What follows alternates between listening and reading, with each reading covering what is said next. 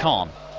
Halfway inside the Everton half, squares it for Alistair Smith. Alistair Smith, forward for Sterling James just outside the area. Sterling James, low shot. Oh, it's the net! Brilliant goal from Omari Sterling James, and he deserved that. He's been Mansfield's standout player tonight. He turns on the edge of the area and fires a low shot. The keeper dives over it, and with three minutes to go here, 87 minutes gone, Mansfield Town won, Everton under 21s won. Oh, he really deserved that, Omari Sterling James, for his brilliant night's work.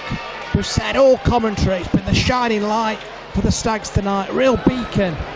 And uh, really, really uh, just that he managed to get his reward. Quick feet, he's got a trick, Martin. It's his second goal of the season. Been tremendous tonight.